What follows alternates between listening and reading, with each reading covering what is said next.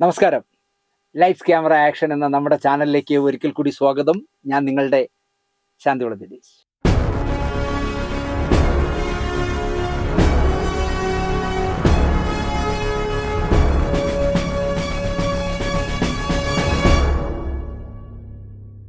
എന്നെ തല്ലണ്ട അമ്മാവ ഞാൻ നന്നാവില്ല എന്ന് പറയുന്ന ഒരു വിഭാഗത്തെ പറയാൻ പറഞ്ഞാൽ ഞാൻ പറയും.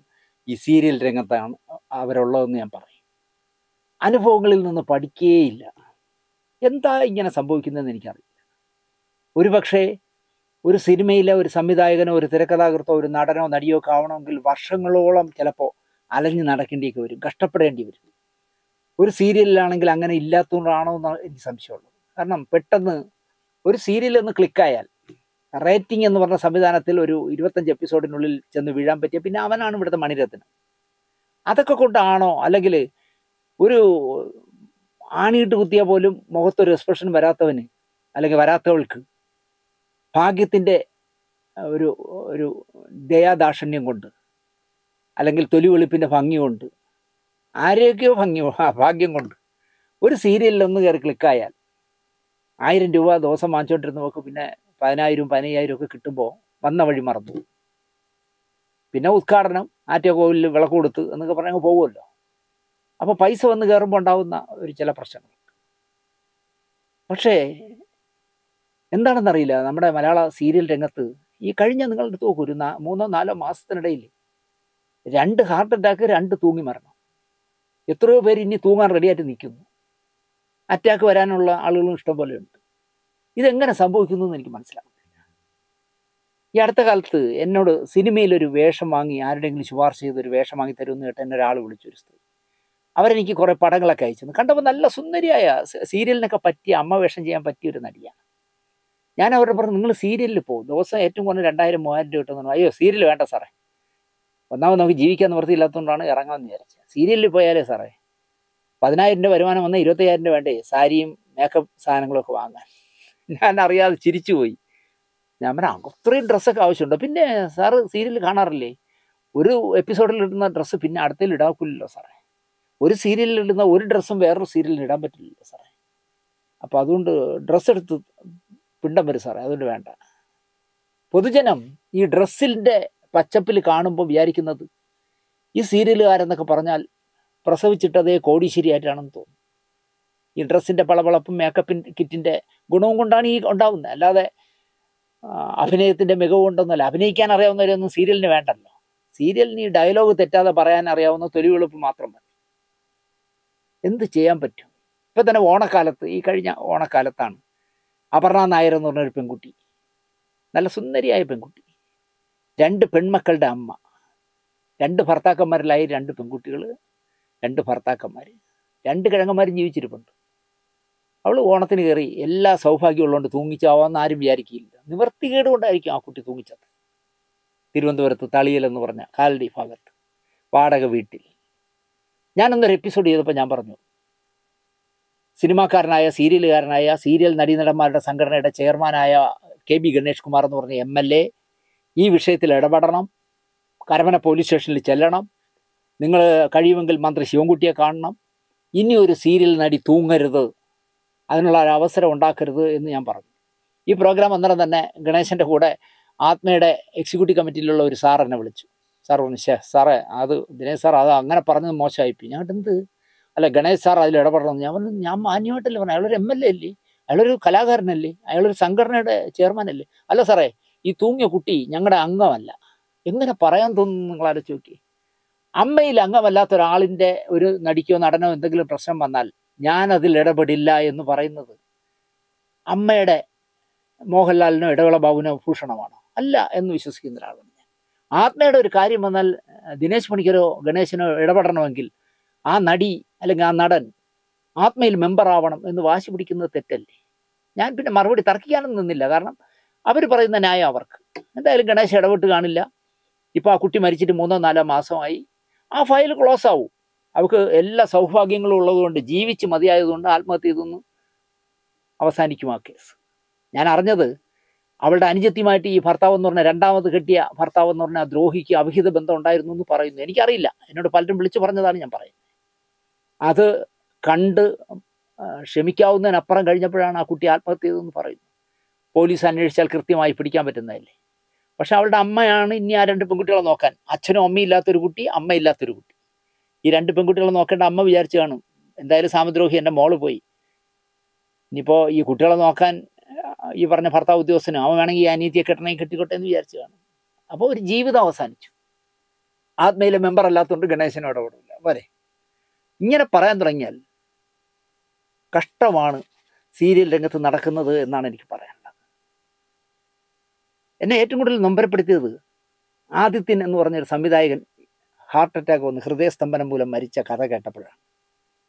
ആദിത്യനെ ഞാൻ എപ്പോഴും അത്ഭുതത്തോടെ കണ്ടിട്ടുള്ളൂ എന്നെ ദിനേശ് ചേട്ടാ എന്നൊക്കെ വിളിച്ച് സംസാരിക്കുമ്പോഴും ഞാൻ അത്ഭുതത്തോടെ കാണുന്ന ഒരു പയ്യനായിരുന്നു. കാരണം ആകാശദൂത് എന്ന് പറഞ്ഞ സൂപ്പർ ഹിറ്റായ സിനിമയ്ക്ക് ഒരു രണ്ടാം ഭാഗം സീരിയലായിട്ട് ചെയ്യാൻ കഴിയുമെന്ന് ചിന്തിച്ച അയാളുടെ ആ കഴിവിനെയാണ് ഞാൻ ബഹുമാനിക്കുന്നത്.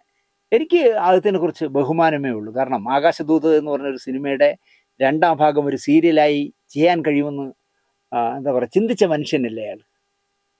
അത് തുടങ്ങുന്നതിന് മുമ്പായിട്ട് ഒരു ദിവസം എന്നോട് രഞ്ജിത്ത് ചോദിച്ചു ആകാശദൂത് സിനിമ ദിനേശ് കണ്ടിട്ടുണ്ട്. അവനുണ്ട്. അതിന്റെ ഒരു രണ്ടാം ഭാഗം ഈ കുട്ടികൾ നാലിടത്തായി പോയ നാല് കുട്ടികൾ റീയൂണിയൻ ആവുന്ന ഒരു സബ്ജക്റ്റ് സീരിയലാക്കിയാൽ നമ്മൾ സൂപ്പർ ഹിറ്റ് ആവും. കാരണം നമ്മൾ ചിന്തിക്കാത്ത ഒരു സ്ഥലത്തിലൂടെയല്ലേ ആ പയ്യൻ ചിന്തിക്കുന്നത്. ഞങ്ങൾക്ക് എന്ത് കൊല്ലത്തുന്ന കൊല്ലത്തുനിന്ന് ഒരു പയ്യൻ എന്നെ വിളിച്ചിരുന്നു കേട്ടോ. അത് ചെയ്താലോ എന്ന് ഞാൻ ആലോചിക്കണേ അവന് രണ്ട് കൈയും കൊടുത്ത് സ്വീകരിക്കും. അത് സൂപ്പർ ഹിറ്റ് ആവും എന്ന് ഞാൻ പറഞ്ഞു ആദിത്യൻ നനച്ചിരിക്കുക നല്ല ഒരു സംഘടനാ പ്രവർത്തനമൊക്കെ ആയിരുന്നു ആദിത്യൻ. നമ്മളെ ടെലിവിഷൻ ഫ്രട്ടേണിറ്റിയിൽ ചില പ്രശ്നങ്ങളൊക്കെ നടക്കുമ്പോൾ ഇടയ്ക്കിടയ്ക്ക് എന്നെ വിളിക്കുമായിരുന്നു. അയാൾ പറയുന്ന ന്യായങ്ങളെല്ലാം ന്യാ- നൂറ് ശതമാനം ന്യായമായിരുന്നു. ഇത്ര വേഗം അയാൾ പോകുമെന്ന് വിചാരിച്ചില്ല. നാൽപ്പത്താറ് നാൽപ്പത്തേഴ് വയസ്സേ ഉള്ളൂ. ഹാർട്ട് അറ്റാക്ക് വന്ന് മരിച്ചു നിങ്ങൾ ആലോചിച്ച് നോക്കൂ ആയിരം എപ്പിസോഡായിട്ടാണ് ആകാശദൂത് പോയത് അതുപോലെ ഇപ്പോൾ പോയിക്കൊണ്ടിരിക്കുന്ന ഏതോ ഒരു സീരിയൽ ഇപ്പോൾ ചെയ്തുകൊണ്ടിരിക്കുന്നതും ആയിരം എന്തോ എപ്പിസോഡ് കഴിഞ്ഞു. പിന്നെയും വേറെ ഏതൊക്കെ ചെയ്തു? എല്ലാം കൂടി ഞാൻ അറിഞ്ഞത് രണ്ടായിരത്തി അഞ്ഞൂറ് എപ്പിസോഡ് അയാൾ ചെയ്തു എന്നാണ് പറയുന്നത്. അപ്പോൾ രണ്ടായിരത്തി അഞ്ഞൂറ് എപ്പിസോഡിന് രഞ്ജിത്ത് ഒരു എപ്പിസോഡിന് പതിനായിരം രൂപ വെച്ച് കൊടുത്തിരുന്നുവെങ്കിൽ രണ്ടര കോടി രൂപയുടെ വരുമാനം ഉണ്ടായിരുന്ന ആളായിരുന്നു. പക്ഷെ ഇപ്പം ഞാൻ അറിയുന്നത് അയാളുടെ ബാങ്ക് ബാലൻസിൽ ആറ് ലക്ഷം രൂപയേ ഉള്ളൂ എന്ന് തോന്നുന്നു. ബാക്കി എവിടെ പോയി പറഞ്ഞു. ഏതോ നാലോ അഞ്ചോ സെന്റ് സ്ഥലം വാങ്ങി ഒരു വീട് പണി നടക്കുന്നുണ്ട്. ആ വീട് ഇനി പൂർത്തിയാക്കുന്നത് രഞ്ജിത്തായിരിക്കും എന്നും പറയുന്നു. രഞ്ജിത്ത് പൂർത്തിയാക്കി കൊടുക്കാം. ആ രണ്ട് കുട്ടിയേക്കും ഭാര്യയ്ക്കും താമസിക്കാനെന്ന് പറയുന്നു. പക്ഷേ അപ്പോൾ ഈ രണ്ടര രണ്ടര കോടി രൂപ കിട്ടിയത് എവിടെ പോയി എന്ന് എനിക്ക് പിടികിട്ടുന്നില്ല. ഷെജി എന്നാണ് അയാളുടെ പേര്. അയാൾ മുസ്ലിമാണ്. എനിക്ക് അതും ഒരു പുതിയ അറിവായിരുന്നു. കാരണം അയാളുടെ സ്റ്റുഡിയോ ഉദ്ഘാടനത്തിനൊക്കെ ഞാൻ പോയപ്പോൾ അയാളൊരു സ്റ്റുഡിയോ തുടങ്ങി. മൂന്ന് സുഹൃത്തുക്കളുമായിട്ട് ചേർന്ന്. ആ സ്റ്റുഡിയോയുടെ ഉദ്ഘാടനത്തിനൊക്കെ പോയപ്പോൾ ചന്ദനം കൊണ്ട് പാളങ്ങളും കുറിയൊക്കെ അടിച്ച് നിൽക്കുന്ന ആദ്യത്തിനെ കണ്ടപ്പോൾ അയാളൊരു മുസ്ലിമാണെന്ന് എനിക്ക് തോന്നിയില്ല. അയാൾക്ക് ഷെജി എന്നാണ് അയാളുടെ യഥാർത്ഥ പേര്. ജനിച്ചത് മുസ്ലിമായിരുന്നു എന്ന് സിനിമാക്കാരും അല്ലെങ്കിൽ സീരിയലുകാരും അറിഞ്ഞത് തന്നെ അയാളുടെ അമ്മ മരിച്ചപ്പോൾ ഉമ്മ മരിച്ചപ്പോൾ തിരുവനന്തപുരത്ത് നിന്ന് പോയവരെല്ലാം ഞെട്ടി. കാരണം പള്ളിയിലാണ് അടക്കുന്നത്. അപ്പോഴാണ് അറിയുന്നത് ഈ തിരുവനന്തപുരത്ത് നമ്മളെ തൂവാനത്തുമ്പുകളിലെ ജയകൃഷ്ണൻ എന്ന് പറഞ്ഞ മോഹൻലാലിന്റെ ക്യാരക്ടർ പോലെയുണ്ട്. തിരുവനന്തപുരത്ത് പാളങ്ങളെ കുറിയൊക്കെ അടിച്ച് നടക്കുന്ന ആദിത്യൻ ഒരു കറകളഞ്ഞ മുസൽമാനാണ് എന്ന് വൈകിയാണ് സീരിയലുകാരും സിനിമാക്കാരും ഒക്കെ അറിഞ്ഞത്. ഒരു അനുജനുണ്ട്. ബിജിരാജ് എന്നാണ് അയാളെ പേര്. കലാഭമണിയുടെ അനുജനെ പോലെയായി. കാരണം ബിജിരാജിന് അമ്മയും അച്ഛനും ഒന്നും ഇല്ല ഇവർക്ക്. ഇവർ രണ്ടുപേരേ ഉള്ളൂ. ബിജിരാജിന്റെ കാര്യങ്ങളൊക്കെ നോക്കിക്കൊണ്ടിരുന്നത് ആദിത്യനാണെന്ന് പറയുന്നു. അയാൾ അനാഥനായി. ശരിക്കും പറഞ്ഞാൽ അയാളാണ് അനാഥനായത്. എനിക്ക് പരിചയമൊന്നുമില്ല. ഞാൻ കണ്ടിട്ടൊന്നുമില്ല ആളിനെ. കഷ്ടമായി എന്ന് മാത്രമേ എനിക്ക് പറയാനുള്ളൂ. കാരണം ബിജരാജും അനാഥനായി. ഈ രഞ്ജിത്തിന്റെ രഞ്ജിത്തും ചിപ്പിയൊക്കെ ആകുമ്പോഴേ രഞ്ജിത്ത് ഒരുമാതിരിപ്പെട്ട അയാളെ കൂടെ നിൽക്കുന്നവരെ നന്നായിട്ട് സഹായിക്കുന്ന ആളാണ്. അതുകൊണ്ട് തന്നെ അയാൾക്കൊരു ദോഷം വന്നെങ്കിൽ പോലും അല്ലെങ്കിൽ അയാളുടെ ജീവൻ പോയെങ്കിലും അയാളുടെ വീട്ടുകാരെ തീർച്ചയായിട്ടും ഭാര്യയും രണ്ട് മക്കളെയും അയാൾ തള്ളിക്കളയില്ല. ആ വീടെങ്കിലും പൂർത്തിയാക്കി കൊടുക്കും. ഹാർട്ട് പണങ്ങിയപ്പോൾ പോലും അയാൾ എനിക്ക് കേട്ടപ്പം ഭയങ്കര വിഷമം തോന്നിയൊരു കാര്യം. ഒരു കല്യാണം ആദ്യം കഴിച്ചു എന്ന് പറയുന്നു. അതും എനിക്ക് തെളിവൊന്നുമില്ല. രഞ്ജിത്തിനെ ഒന്നും വിളിച്ച് ഞാൻ ചോദിക്കില്ല. രഞ്ജിത്ത് ഈ ആദ്യത്തിന്റെ ആദ്യം ഒരു കല്യാണം കഴിച്ചിട്ടുണ്ട് അത് ചോദിക്കുന്നത് ശരിയല്ല എന്നുള്ള പക്ഷക്കാരാണ് ഞാൻ. അതും ഞാൻ ചോദിച്ചില്ല. അയാൾ ഹിന്ദു ആയ ശേഷമാണ് ഈ പെൺകുട്ടിയെ കല്യാണം കഴിച്ചത്. രണ്ട് കുട്ടികളുമായി. അപ്പോൾ എന്തോ ഋഷാൽ ഋഷിക എന്ന് പറഞ്ഞ ഒരാണും ഒരു പെൺകുട്ടിയുമാണ്. രോണു ചന്ദ്ര എന്നാണ് ഭാര്യയുടെ പേര്. അപ്പോൾ ഷെജി കല്യാണം കഴിച്ച അല്ലെങ്കിൽ ആദിത്യം കല്യാണം കഴിച്ച ഈ ദാമ്പത്യത്തിൽ എന്തോ ശിഥിലത ഉണ്ടായിരുന്നു എന്ന് പറയുന്നു. കാരണം ഇയാൾ ഒരു ദിവസം നാല് പാക്കറ്റ് അതായത് നാൽപ്പത് സിഗരറ്റും അതിനാവശ്യമുള്ള മദ്യവും കഴിക്കും എന്ന് പറയുന്നു വർക്ക് കഴിഞ്ഞാൽ.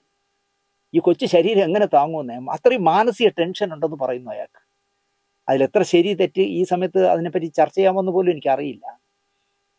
ഈ ലൊക്കേഷനിൽ വെച്ച് അയാൾക്ക് എന്തോ ഹാർട്ടിന് എന്തോ ഒരു പ്രശ്നം ഉണ്ടാവുകയും ക്ഷീണം തോന്നുകയും അയാൾ റെസ്റ്റ് എടുക്കുകയൊക്കെ ചെയ്തു എന്ന് പറയുന്നു. പക്ഷേ അന്ന് രാത്രി അയാൾ താമസിക്കുന്നിടത്തു നിന്ന് അയാളുടെ പോസ്റ്റ് പ്രൊഡക്ഷൻ ഡയറക്ടറെ വിളിച്ചു വരുത്തുകയാണ് ചെയ്തത്. എനിക്ക് ഒട്ടും വയ്യ നീ വേഗം വാ എന്ന് പറഞ്ഞ് ചെന്ന് അയാൾ ചെല്ലുമ്പോൾ ഇയാൾ നിലത്ത് വീണ് കിടക്കുന്നു കട്ടിരിയും അവിടെ നിന്ന് എടുത്ത് കാറ് കയറ്റിയപ്പോഴേ തന്നെ ആൾ പോയി എന്നാണ് പറയുന്നത്. എടുത്ത് ആശുപത്രി കൊണ്ടുപോയപ്പോഴാണ് മരണം സ്ഥിരീകരിച്ചത്. അതുകൊണ്ടാണ് പോസ്റ്റ്മോർട്ടം ഒക്കെ ചെയ്ത് കിട്ടിയത്. എന്നെ ഇന്നലെ വിളിച്ച ഒരാൾ പറഞ്ഞത് ഞാനപ്പോൾ കരുതിയത് ഈ ഭാര്യയും മക്കളും അടക്കിയത് കൊല്ലത്താണല്ലോ. അപ്പം ഞാൻ കരുതി ഈ ഭാര്യയും മക്കളും കൊല്ലത്താണെന്നല്ല. ഈ പറയുന്ന തിരുവനന്തപുരത്ത് വാടകയ്ക്ക് താമസിക്കുന്ന വീട്ടിൽ ഭാര്യയും മക്കളും വേറൊരു മുറിയിലും ഇയാൾ വേറൊരു മുറിയിലുമാണെന്ന്. അപ്പം അറിയാമല്ലോ അവരുടെ ദാമ്പത്യ ജീവിതം എത്ര സന്തോഷ സുരഭിലമാണെന്ന്. എന്തായാലും ഈ പോസ്റ്റ് പ്രൊഡക്ഷൻ ഡയറക്ടർ ചെന്ന് ജീവനറ്റ ആദ്യത്തിനെ തറയിൽ നിന്ന് എടുത്ത് കാറിൽ കയറ്റി കൊണ്ടുപോയപ്പോൾ ആ കാറിൽ പോലും ഭാര്യ കയറിയില്ല എന്ന് പറയും. അവർ വേറൊരു വാഹനത്തിലാണ് ആശുപത്രി ചെന്നതെന്ന് പറയും. എന്താവാം പ്രശ്നം എന്ന് നമുക്കറിയില്ല. ഗസ് ചെയ്ത് പറയാൻ ഞാൻ തയ്യാറുമല്ല. പക്ഷേ മാനസികമായ ഒരുപാട് സംഘർഷങ്ങളുടെ നടുവിലൂടെയാണ്. ഒരു കൊച്ചു ഹൃദയമല്ലെന്നേ. ഈ ഹാർട്ട് എന്നൊക്കെ പറഞ്ഞ പതച്ച് പതച്ച് പതച്ച് ജന്മ ജനിച്ചതിന്റെ അന്ന് മുതൽ ഇത് അടിച്ചടിച്ചിരിക്കുകയാണ്. അപ്പോൾ അതിൽ എന്തെങ്കിലും ആവശ്യമില്ലാതെ പ്രശ്നങ്ങൾ ഉണ്ടാക്കുമ്പോൾ ഇത്തിരി സ്പീഡ് കൂടും. ടപ്പ് നിന്നു പോവും. അതിന്റെ കൂടെ ഒരു കൊച്ചു ശ്വാസകോശം ഉണ്ട് അതിൽ നാൽപ്പത് സിഗരറ്റ് ദിവസം വലിച്ച് പുക കുറ്റി അകത്ത് കയറ്റി വിട്ടു കൊടുത്താൽ ഗോവിന്ദനാശം വെടിവെപ്പിന് മറ്റേ ഉത്സവപ്പറമ്പിൽ വെടിക്കെട്ടിന് പൊട്ടിച്ചതുപോലെ ഇരിക്കും ഇല്ലേ? ഈ മനുഷ്യരൊക്കെ ഇങ്ങനെ സ്വയം ചാവാൻ തയ്യാറാവുക എന്നാണ് നിങ്ങൾ ആലോചിച്ചത്. നാൽപ്പത് സിഗരറ്റ്. ഇത് ആരുടെ വാശി തീർക്കണേ? ഇപ്പൊ രാവിലെ എണീറ്റ് അവിടെ സോമൻ ചേട്ടൻ ഐ ഓപ്പണർ എന്ന് പറഞ്ഞിട്ട് രാവിലെ ഒഴിച്ച് അടിക്കുമ്പോൾ സോ ഒരിക്കൽ ജെ സി സാർ എന്റെ മുമ്പ് വെച്ച് വെച്ചു ഇത് ആരോടാ സോമു? നീ ഈ വാശി തീക്കണമെന്ന് അണ അതൊരു രസം എന്ന് പറഞ്ഞാൽ അടിച്ച് എത്ര കാലം ജീവിച്ചിരിക്കണ്ടേ? അറുപത് വയസ്സ് പോലും ആകുമ്പോൾ എം ജി സോമൻ പോയത് അതുകൊണ്ടല്ലേ. അതിൽ നിന്നൊന്നും ഇവരാരും പഠിക്കുന്നില്ല എന്നുള്ളതാണ്. എന്നോടൊരാൾ പറഞ്ഞത് ഇയാൾക്ക് ഈ പതിനായിരം രൂപ വെച്ച് കിട്ടിയാൽ ചിലവാക്കാനുള്ള സമയമില്ലെന്നാണ് പറയുന്നത്. കാരണം ഇരുപത് ദിവസം ഷൂട്ടിങ് പത്ത് ദിവസം അതിന്റെ സ്റ്റോറി ഡിസ്കഷനും ഓൺലൈൻ ഉണ്ടാക്കലും ഒക്കെ ആയിട്ട്. അതിന് ഓൺലൈനിന് ഒരു എപ്പിസോഡിന് രണ്ടായിരം രൂപ വെച്ചെന്തോ രഞ്ജിത്ത് കൊടുക്കുമെന്ന് പറയുന്നു. അപ്പോൾ പത്ത് ദിവസം ഓൺലൈൻ ഉണ്ടാക്കലും രഞ്ജിത്തുമായിട്ടുള്ള ചർച്ചയും അതും കൊണ്ട് ചാനലിൽ പോക്കും ഒക്കെ ആയിട്ട് പത്ത് ദിവസവും ഇരുപത് ദിവസം ഫുൾ ടൈം ഷൂട്ടിങ്ങും ആയാൽ പിന്നെ ഈ വെള്ളം അടിക്കാനും കറങ്ങാനും പൈസ ചിലവാക്കാൻ വഴിയില്ല. അപ്പോൾ ഈ രഞ്ജിത്ത് കൊടുക്കുന്ന പൈസ മുഴുവൻ മിച്ചമാണ്. പക്ഷേ ബാങ്കിലില്ല ആറ് ലക്ഷം രൂപയുണ്ട് എന്ത് ചെയ്യാൻ പറ്റും? ഞാൻ അറിഞ്ഞത് ശരിയാണെങ്കിൽ ഈ രണ്ട് കൊച്ചുകുട്ടികളും ആ ഭാര്യയും തിന്നേണ്ട പൈസ ഒരുപാട് പേര് കൊണ്ടു എന്നാണ് പറഞ്ഞത്. കൂടെ വർക്ക് ചെയ്തിരുന്ന അഭിനയ പ്രതിഭകളായ എനിക്ക് ചിലരുടെ പേരൊക്കെ പറഞ്ഞൊന്നും ഞാൻ പറയുന്നില്ല. അഭിനയ പ്രതിഭകളായ ചില പ്രതിഭകളെന്ന് പറയാമോ? പ്രതിഭി എന്ന് പറയണമെന്ന് എനിക്ക് അറിയണ്ട കൊണ്ടുപോയി എന്നാണ് പറഞ്ഞത്. ഒരുപാട് കാശ് കൊണ്ടുപോയി എന്ന് പറയുന്നു അതും എനിക്കൊരു പുതിയ വാർത്തയാണ്. ആദ്യത്തിനിൽ നിന്ന് അങ്ങനെയൊക്കെ പൈസ അടിച്ചുകൊണ്ട് പോകാൻ കഴിവുള്ള വേന്ദ്രത്തികളുണ്ടോ എന്ന് അന്വേഷിക്കേണ്ടുള്ളവർ അന്വേഷിക്കട്ടെ. എന്തായാലും രണ്ട് കുട്ടികൾക്ക് കൊച്ചു പ്രായമുള്ള രണ്ട് കുട്ടികൾക്ക് അച്ഛനില്ലാതായി എന്നതിനപ്പുറം. രഞ്ജിത്ത് എന്താ ചെയ്യുക? രഞ്ജിത്ത് ഇപ്പോൾ ആ സീരിയൽ അങ്ങ് നിർത്തും. കാരണം ആയിരം ആയിരത്തി ഇരുന്നൂറൊക്കെ എപ്പിസോഡ് ആയിക്കാണുമല്ലോ. അതങ്ങ് നിർത്തും. എന്നിട്ട് പുതിയൊരു ഡയറക്ടറെ മാനസികപുരത്തുള്ള ഒരാളെ കിട്ടിയാൽ അയാളെ വെച്ച് പുതിയ സീരിയൽ തുടങ്ങുമായിരിക്കും. എന്തായാലും പോയി. ഈ മോഷണം നടത്തുന്നവൻ മോഷണത്തിൽ മാത്രമേ സ്പെഷ്യലൈസ് ചെയ്യാവൂന്ന് ഞാൻ എപ്പോഴും പറയും. അവൻ അതിനിടയിൽ പോക്കറ്റ് അടിക്കാൻ പോകുമ്പോൾ പോലീസ് പിടിക്കുന്നത്. കാരണം അവൻ പോക്കറ്റ് അടിയും പഠിക്കില്ല മോഷണവും പഠിക്കില്ല. എന്ന് പറഞ്ഞ പോലെ ദിവസം ഏതാണ്ട് പതിനായിരം രൂപ വർഷങ്ങളായി കിട്ടിക്കൊണ്ടിരിക്കുന്ന മനുഷ്യൻ എന്ത് ആവശ്യത്തിലാണ് സ്റ്റുഡിയോ തുടങ്ങാൻ പോയേ. മൂന്ന് പാർട്ണർമാരുമായിട്ട് സ്റ്റുഡിയോ തുടങ്ങി. എന്നിട്ട് കാണുന്നവരുടെയൊക്കെ പറയും എന്റെ ഏഴരാണ്ട ശനിക്ക് കയറി ഒരു സ്റ്റുഡിയോ തുടങ്ങി എന്ന് പറയും. എന്തായാലും ഇൻകം ടാക്സ് പോലും കൃത്യമായി കിറു കൃത്യമായി കൊടുക്കുന്ന ആളാണ് രഞ്ജിത്ത് എനിക്കറിയാം. കാരണം രഞ്ജിത്ത് എന്നോട് പലപ്പോഴും പറഞ്ഞിട്ടുണ്ട് ദിനേശ് കിടന്ന് ഉറങ്ങാം മനസ്സമാനത്തോളം ഉറങ്ങണം. പൈസ ഉണ്ടാക്കിയിട്ട് കാര്യമില്ല ദിനേശ്. ആ നന്നായിട്ട് ജീവിക്കാനും നന്നായിട്ട് ഉറങ്ങാനും കഴിയണം. അതുകൊണ്ട് ഞാൻ പത്ത് പൈസ ഇൻകം ടാക്സിനെ പറ്റിക്കില്ല. കൃത്യമായിട്ട് അവർക്ക് അടയ്ക്കാനുള്ള പൈസ അടയ്ക്കുന്ന ചുരുക്കം പേരിൽ ഒരാളാണ് ഞാനെന്ന് അഭിമാനത്തോടെ പറയുന്ന ആളാണ് അതുകൊണ്ട് തന്നെ അയാൾ ശമ്പളവും കൃത്യമായിട്ട് കൊടുത്തിരിക്കും. കൃത്യമായി ഈ പറഞ്ഞ രണ്ടായിരത്തി അഞ്ഞൂറ് എപ്പിസോഡ് പോയിട്ടുണ്ടെങ്കിൽ പതിനായിരം രൂപ വെച്ച് രണ്ടര കോടി രൂപ നമ്മുടെ ആദിത്യം വാങ്ങിയിരിക്കുമെന്നാണ് ഞാൻ വിശ്വസിക്കുന്നത്. എന്തായാലും പോയ പൈസ എവിടെയെന്ന് അന്വേഷിക്കുന്നത് നന്നായിരിക്കും. എനിക്ക് പറയാനുള്ളൂ ഈ ആദിത്യന്റെ മരണം കഴിഞ്ഞ ഉടനെ ഷംനാഥ് പുതുശ്ശേരി എന്ന് പറഞ്ഞ ആൾ എനിക്കറിയില്ല ആളിനെ. അദ്ദേഹം ഒരു ഞങ്ങളുടെ സീരിയൽ രംഗത്തുള്ളവരുടെ ഒരു ഗ്രൂപ്പിൽ ഒരു മെസ്സേജ് ഇട്ടു. ടെലിവിഷൻ സംവിധായകർക്ക് സമർപ്പിച്ചുകൊണ്ട് എന്ന് പറഞ്ഞിട്ടാണ് ഈ ഷംനാഥ് പുതുശ്ശേരി എഴുതിയിരിക്കുന്നത്. ആദ്യത്തിന്റെ അകാല മരണം സംഭവിച്ചതിൽ നിന്നും ടെലിവിഷൻ സംവിധായകർക്ക് സമർപ്പിക്കുന്ന ഈ കുറിപ്പ് തീർച്ചയായിട്ടും ചിന്തിക്കേണ്ടതാണ് എന്ന് ഞാൻ പറയും. ഒരു ഷൂട്ടിംഗ് സെറ്റിന്റെ ക്യാപ്റ്റനാണ് സംവിധായകൻ. തർക്കമില്ല. അയാളുടെ ആജ്ഞകളും അലർച്ചകളും അഭിനന്ദനങ്ങളും നിസ്സഹായതയും നിരാശയും സന്തോഷവും സമർപ്പണവും അവിടമാകെ നിറഞ്ഞു നിൽക്കും. അതും ഓക്കെയാണ്. പക്ഷേ അപ്പോഴും ഒരു ചെറിയ വിയോയിപ്പ് എന്താണെന്ന് ചോദിച്ചാൽ ഒരു സീരിയൽ എന്ന് തുടങ്ങണം എന്ന് നിർത്തണം എന്നൊക്കെ തീരുമാനിക്കുന്ന ചാനൽ മുതലാളിമാരാണ്. അല്ലാതെ സംവിധായകൻ അവിടെ അത്രയും റോളുണ്ടോ എന്ന് എനിക്കറിയില്ല. എങ്കിലും വാദത്തിന് വേണ്ടി നമുക്ക് സമ്മതിക്കാം. കാരണം ഇപ്പം ഡോക്ടർ ജനാർദ്ദനെ പോലെ ചിലരില്ലേ? അവർ തന്നെയാണ് അവസാന വാക്ക്. സംവിധായകരെല്ലാവരും അറ്റി കുറ്റി ഈ കുറ്റിയും പറിച്ച് പോയിട്ടൊന്നുമില്ല. അയാളുടെ ആജ്ഞകളും അലർച്ചകളും അഭിനന്ദനങ്ങളും നിസ്സഹായതയും നിരാശയും സന്തോഷവും സമർപ്പണവും ഒക്കെ ആ സീരിയലിന്റെ ഷൂട്ട് സെറ്റിൽ നിറഞ്ഞു നിൽക്കുമെന്നാണ് ഈ ഷംനാഥ് പുതുശ്ശേരി പറയുന്നത്. പാക്കപ്പ് പറഞ്ഞ് അയാൾ ഇറങ്ങി നടക്കുമ്പോൾ. അച്ഛനില്ലാത്ത വീട് പോലെ അവിടെ ഒരു അനാഥത്വം മുഴച്ചു നിൽക്കും.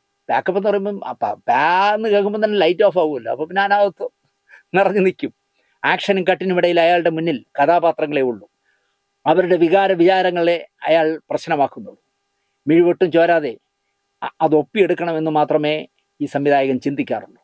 അതിനപ്പുറം അയാളൊരു മനുഷ്യനാണ്.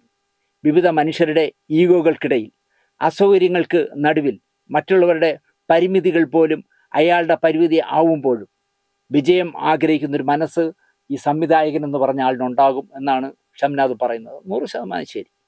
വിജയത്തിന്റെ ക്രെഡിറ്റ് പങ്കുവയ്ക്കപ്പെടുമ്പോൾ സ്ക്രീനില്ലാ സ്ക്രീനിലില്ലാത്ത ആ മനുഷ്യൻ അരികിൽ എവിടെയോ ആയിരിക്കും. ഉറപ്പായിട്ടും. ഇപ്പോൾ റേറ്റിങ്ങിലേക്ക് കയറിയാൽ അല്ല ഈ ഉത്തരം താങ്ങുന്ന ഗൗളിയെ പോലെ നായകനും നായികയൊക്കെ പറയും. ഞാൻ അഭിനയിക്കുന്നുണ്ടല്ലേ ആ സീരിയലിൽ തിരക്കഥാകൃത്ത് പറയും. ഞാൻ എഴുതുന്നുണ്ടല്ലേ? സംവിധായ നിർമ്മാതാവ് പറയും അതിന്റെ ആവിഷ്കാര സ്വാതന്ത്ര്യമെല്ലാം ഞാൻ കൊടുത്തോണ്ടല്ലേ എന്നൊക്കെ പറയും. സംവിധായകന് ഒരു റോളും ആരും കൊടുക്കാറില്ല. വീതം വെച്ച് എല്ലാവരും കൂടി എടുത്തോണ്ട് പോകും.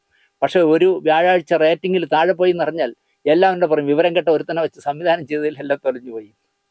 പക്ഷേ പരാജയത്തിന്റെ കണക്കെടുക്കുമ്പോൾ അയാളെപ്പോലെ തോറ്റുപോകുന്ന മനുഷ്യരുണ്ടാവില്ല. ശരിയാണ് നൂറ് ശതമാനം ശരിയാണ്.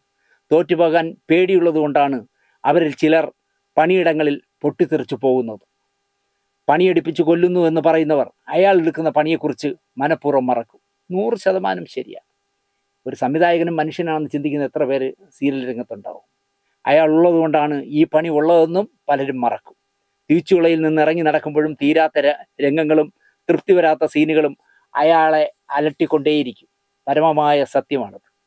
അവിടെ ചിലപ്പോൾ ഒരു വാക്കിന്റെ തണൽ അയാൾ കൊതിക്കും അവിശ്വസിച്ചില്ല എങ്കിലും ഒപ്പമുണ്ടെന്നൊരു നോട്ടം അത് മാത്രം മതിയാകും അയാൾക്ക്. വിയർപ്പിന്റെ പങ്ക് പറ്റുന്നവരും വെറുപ്പിന്റെ കച്ചവടക്കാരനായാൽ എന്താവും എന്നാണ് ഷംനാഥ് ചോദിക്കുന്നത്. അവിടെയാണ് ഈ മനുഷ്യൻ തോറ്റുപോകുന്നത്. ഈ സംവിധായകൻ എന്ന് പറഞ്ഞ മനുഷ്യൻ തോൽക്കുന്നത് അവിടെയാണ്. ഒരുമിച്ച് ഇടപഴകേണ്ടി വരുന്ന എല്ലാ ഇടങ്ങളും എന്ന പോലെ ഒരു ഇഷ്ടവും സ്നേഹവും അടുപ്പവും മനുഷ്യർക്കിടയിൽ ഉണ്ടാവില്ലേ എന്ന് ഷംനാഥ് ചോദിക്കും. ഉണ്ടാവാം ഷംനാഥെ പക്ഷേ ഈ പറയുന്നത് പോലെ ഇഷ്ടവും സ്നേഹവും അടുപ്പവുമൊക്കെ ഒരു ലിമിറ്റ് കഴിഞ്ഞു പോയാൽ ചളകൊളമായി പോകും സംഭവമെന്ന് ഇതിന്റെ പിന്നാലെ പറയുന്ന കഥ കേൾക്കുമ്പോൾ നിങ്ങൾക്ക് മനസ്സിലാവും. എല്ലാ അടുപ്പങ്ങളെയും സൗഹൃദങ്ങളെയും എങ്ങനെയാണ് അവിശുദ്ധതയുടെ തൊഴുത്തിൽ കൊണ്ട് കെട്ടുന്നത്?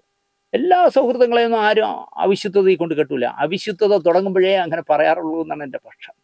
പിന്നെ ചില കലാകാരന്മാരും കലാകാരികളുമുണ്ട് കഴിക്കുന്നിടത്ത് തന്നെ കാഷ്ടിക്കുന്നവർ. നൂറ് ശതമാനമാണ് ഷംനാഥെ നമ്മളിൽ നിന്ന് നമ്മുടെ അവതാരത്തിൽ വന്ന് നമ്മൾ ഒരു അവസരം കൊടുത്ത് നമ്മൾ അഭിനയിപ്പിക്കുന്നവർ നമുക്കിട്ട് പണിഞ്ഞ അനുഭവം എനിക്ക് എത്രയുണ്ട് പിന്നെ പണിയൊന്നും ഏക്കാത്തവനായതുകൊണ്ട് ഞാൻ ചിരിച്ചുകൊണ്ട് നിൽക്കും അത്രയേ ഉള്ളൂ. അത് കൂടെ വർക്ക് ചെയ്തിരുന്നവരും ഉണ്ട് പണിയുന്നവർ. അവർക്ക് നീരസം തോന്നുന്നവരെ കുറിച്ച് അവർ കഥ മെനിയും. തനിക്ക് കിട്ടാത്തത് മറ്റൊരാൾക്ക് കിട്ടിയാൽ അത് വേറെന്തോ കൊണ്ടാണെന്നൊരു ധ്വനി ഉണ്ടാക്കും അതായത് ഒരു നായിക സംവിധായകനോട് അല്ലെങ്കിൽ തിരക്കഥാകൃത്തിനോട് അല്പം ഹൃദയരഹസ്യങ്ങളൊക്കെ പങ്കുവെച്ച് അവർ തമ്മിൽ അടുക്കുകയാണെങ്കിൽ പരദൂഷണം പറയുമെന്നാണ് ഈ പറഞ്ഞതിന്റെ അർത്ഥം. കാരണം എനിക്ക് കിട്ടാതെ പോയി. ഞാൻ നോക്കിയിരിക്കായിരുന്നു ഇയാളെ ഒന്ന് വളച്ചെടുക്കണമെന്ന്. പക്ഷേ അതിനുമ്പ് മറ്റുള്ള വളച്ചെന്ന് കണ്ടാൽ പരദൂഷണം പറയും എന്നുള്ള കാര്യം ഉറപ്പാണ്. ഒന്നോർത്ത് നോക്കൂ. അവരും മനുഷ്യരല്ലേ. ജീവിക്കാൻ വേണ്ടിയുള്ള നെട്ടോട്ടമാണ്.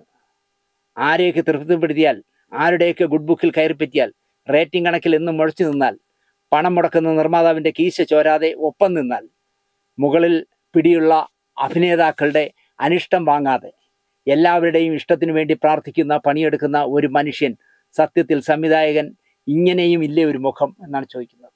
തീർച്ചയായിട്ടും ഉണ്ട്. ഇവിടെ ഇപ്പോൾ ഒരുപാട് കാര്യങ്ങൾ രസകരമായ കാര്യങ്ങൾ ഞാൻ കേൾക്കുന്നുണ്ട്. ചാനലിലൊക്കെ പണ്ട് സംവിധായകനോ നിർമ്മാതാവോ മാത്രമേ സംസാരിക്കൂ. ഇപ്പോൾ ഒരു ഒരു നായികയ്ക്ക് അല്ലെങ്കിൽ സ്വഭാവ നടി ആയിക്കോട്ടെ അവൾക്ക് സംവിധായകനെയോ തിരക്കഥാകൃത്തിനെയോ നിർമ്മാതാവിനെയോ ഇഷ്ടമില്ല എങ്കിൽ അവൾ ചെയ്യുന്ന നേരെ വച്ചു പിടിക്കുകയാണ് ചാനലിൽ അവിടെ ചെന്ന് പറയും. അപ്പോൾ ചാനലിൽ ഈ ഇറച്ചിക്കടയിൽ നോക്കിയിരിക്കുന്ന പട്ടികളെ പോലുള്ള ചില ബാച്ചുകളുണ്ട്. എവൾ പറഞ്ഞ വരവും കാത്തിരിക്കുന്നു. അപ്പോൾ എവൾ എന്ന് ഈ നുണ പറഞ്ഞു കൊടുത്താൽ അങ്ങനെ ചെയ്താ? ഓഹോ നിന്റെ മോശമായിട്ട് പെരുമാറിയ?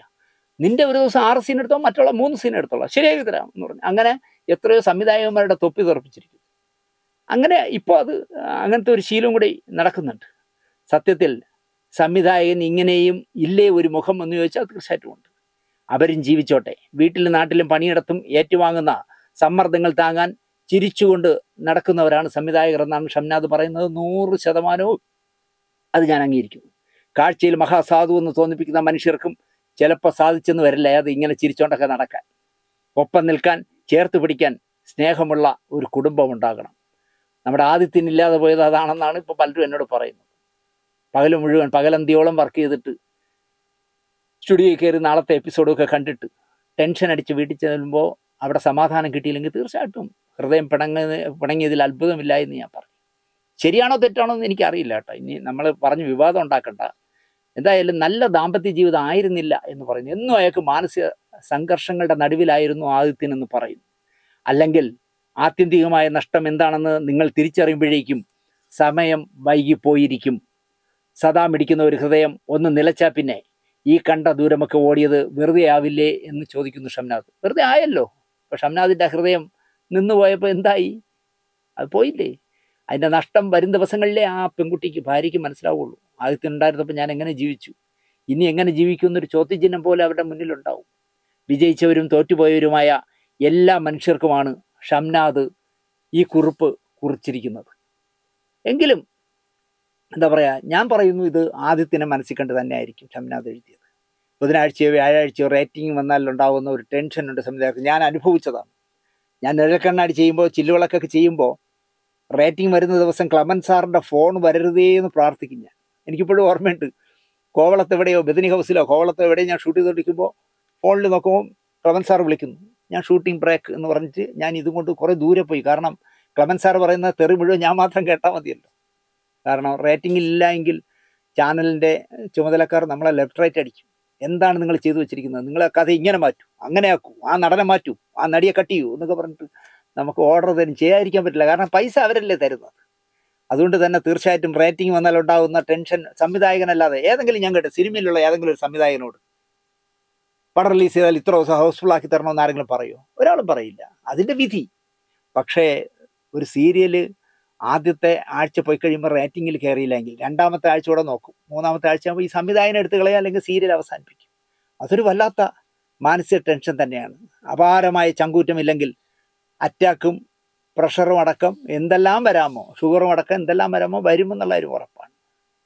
അടുത്ത് പറയുന്ന ഈ വിഷയത്തിലെ അടുത്ത കഥ ഒരു നടിയുടെ ആത്മഹത്യയാണ് തൂങ്ങി മരണമാണ് രഞ്ജുഷ മേനൻ മൂവായിരം രൂപയ്ക്ക് നാലായിരം രൂപയ്ക്ക് ഇടയിൽ ശമ്പളം വാങ്ങുന്ന വേഷങ്ങൾ ചെയ്യുന്ന നടിയാണ് രഞ്ജുഷ.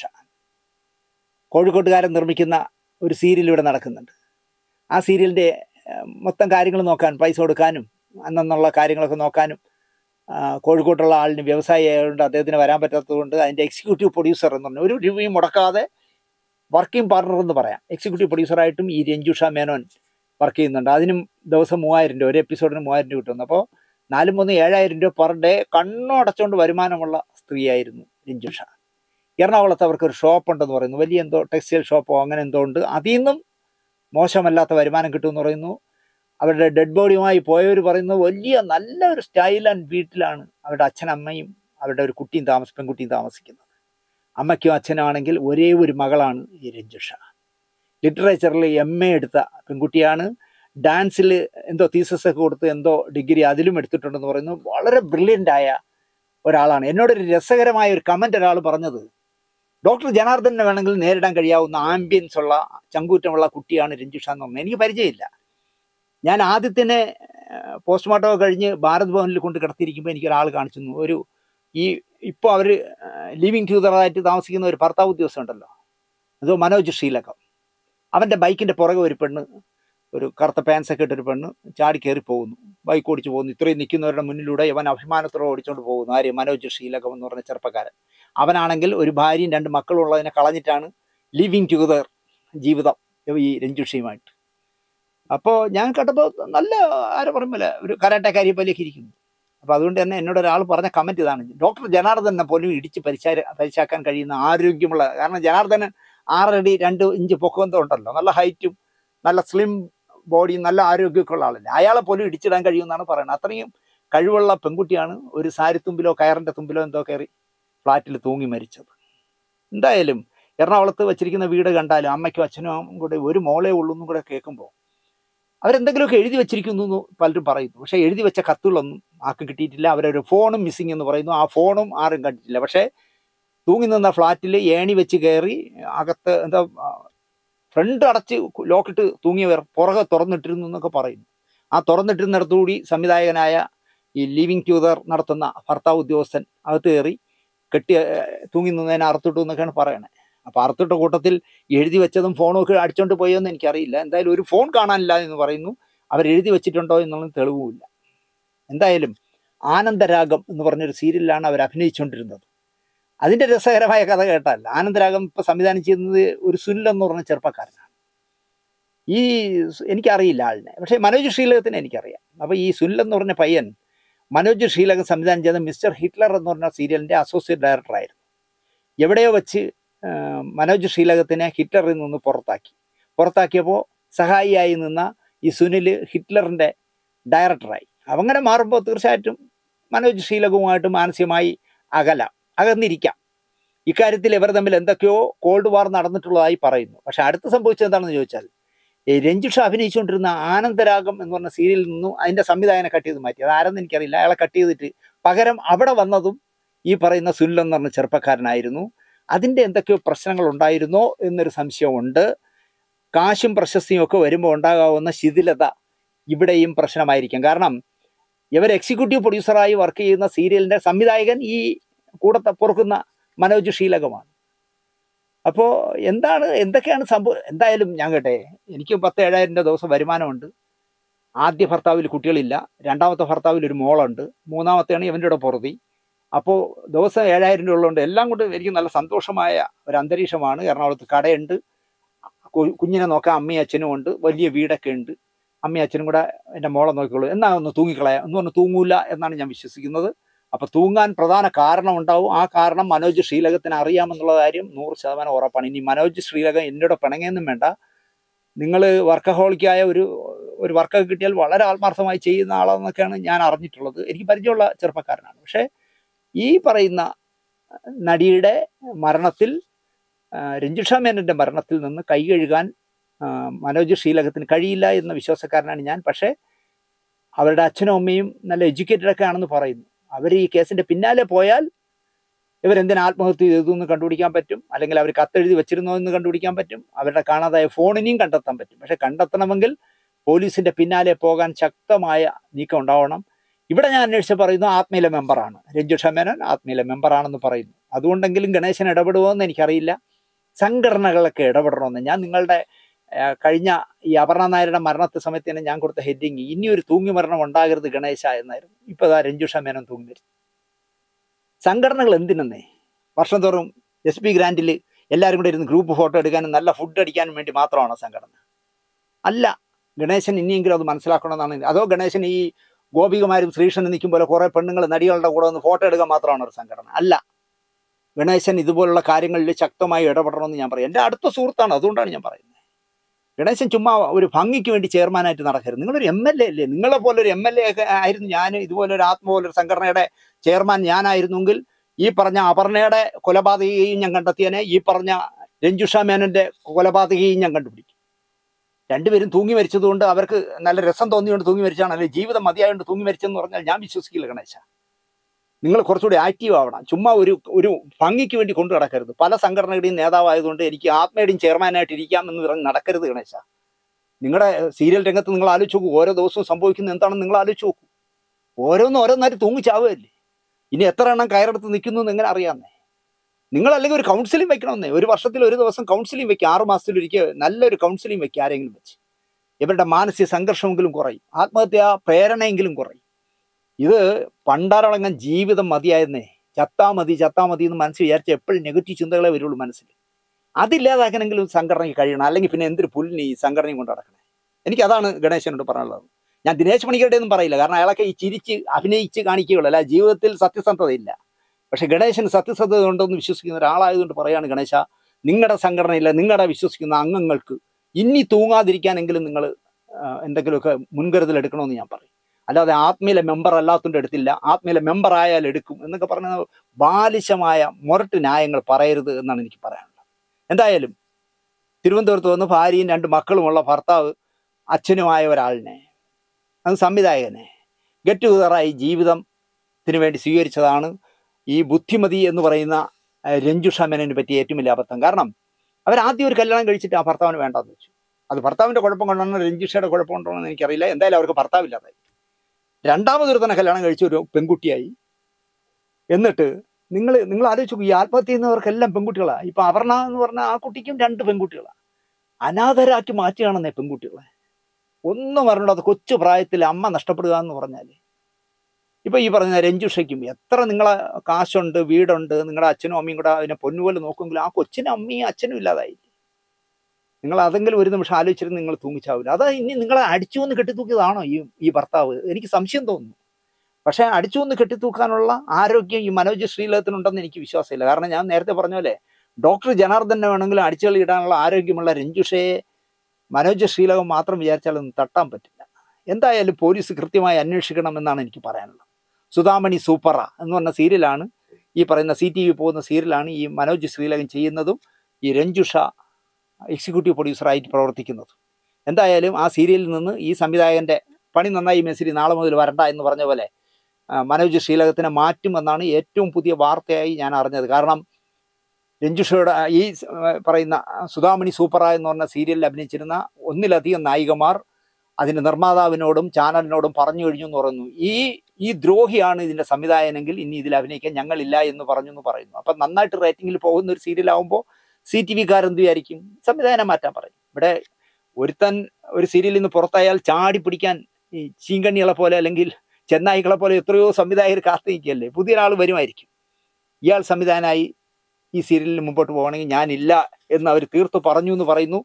വരും ദിവസങ്ങളിലേ നമുക്ക് അതിന്റെ ഡീറ്റെയിൽ അറിയാൻ പറ്റും. ഇനി പറയുന്ന കഥ ദാരുണമായ ഒരു കഥയാണ്. അത് ആത്മഹത്യയും കൊലപാതകവും ഒന്നുമല്ല. നിങ്ങൾ സ്ത്രീജന്മമൊക്കെ കണ്ടിരിക്കും സീരിയൽ ആ സ്ത്രീജന്മത്തിൽ എന്താ പറയുക നായികയുടെ അനിയത്തിയായിട്ട് അഭിനയിച്ച ഒരു പാവം കുട്ടിയുണ്ടായിരുന്നു പ്രിയ. അവൾ മെഡിസിന് പഠിച്ച് ഡോക്ടറായി. ഡോക്ടറായി. കല്യാണപ്രായമൊക്കെ ആയപ്പോൾ ഞാൻ ഇതുവരെ പ്രിയയും നേരിട്ട് കണ്ടിട്ടില്ല പ്രിയയുടെ അമ്മയും നേരിട്ട് കണ്ടിട്ടില്ല. പക്ഷേ പ്രിയയുടെ അമ്മയും ഞാനുമായിട്ട് നല്ല ബന്ധമാണ് ഫോണിലൂടെ. അവർ പലവട്ടം എന്നോട് പറഞ്ഞു സീരിയൽ രംഗത്തൊന്നും നമുക്ക് പറ്റിയതല്ല എന്ന് തോന്നുന്നു. അതുകൊണ്ട് അവൾ ഇപ്പം മെഡിസിന് ചേർന്നു എം ബി ബി എസ് കഴിഞ്ഞു അവൾ ഡോക്ടറായിട്ട് പ്രാക്ടീസ് ചെയ്യുന്നു. എവിടുന്നെങ്കിലും ഒരു നല്ല പയ്യന് വേണം. സാറിന്റെ കയ്യിൽ ആരെങ്കിലും ഉണ്ടോ എന്ന്. ഞാൻ നോക്കാം നോക്കാമെന്ന് പറഞ്ഞു. പക്ഷേ എന്തോ എന്റെ അലസത കൊണ്ടോ എന്റെ മടി കൊണ്ടോ നമുക്ക് പറ്റിയ ഒരാളെ കണ്ടെത്താൻ കൊടുക്കാൻ കഴിഞ്ഞില്ല. ഇതിനിടയിൽ ഞാൻ ഈ പറയുന്ന പ്രിയയുടെ അമ്മയായിട്ട് പിണങ്ങി. പിണങ്ങാൻ കാര്യം എന്താണെന്ന് വെച്ചാൽ അന്ധമായ ഞാനൊരു അന്ധമായ ജയൻ ഫാൻ ആളാണ്.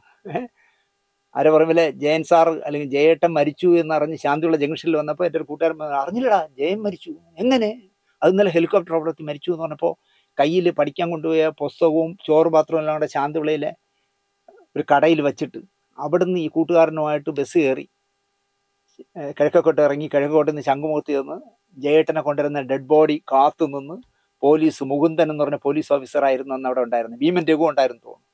അവർ അവർ ലാത്തി വീശുന്നിടത്തുനിന്നെല്ലാം അടി കൊള്ളാതിരിക്കാൻ തെക്ക് വടക്കൊക്കെ ഓടി അവസാനം ജയേട്ടന്റെ മൃതദേഹം കയറ്റിയ വാഹനത്തിന്റെ പുറകെ ചങ്കുമുഖം മുതൽ തിരുവനന്തപുരത്ത് വെള്ളയമ്പലത്തുള്ള ഇൻസ്റ്റിറ്റ്യൂഷൻ എഞ്ചിനീയറിംഗ് ഹാൾ വരെ ഓടിയ ഒരു ബാല്യമുള്ള ആളാണ് ഞാൻ. അതുകൊണ്ട് തന്നെ എനിക്ക് ജയേട്ടനെ ഭയങ്കര ഇഷ്ടമാണ് പക്ഷേ ഈ പറയുന്ന പ്രിയയുടെ അമ്മയെ പോലെ ജയനെ ഇത്രയും അന്ധമായി ആരാധിക്കുന്ന ഒരാളെ ഞാൻ കണ്ടിട്ടേയില്ല.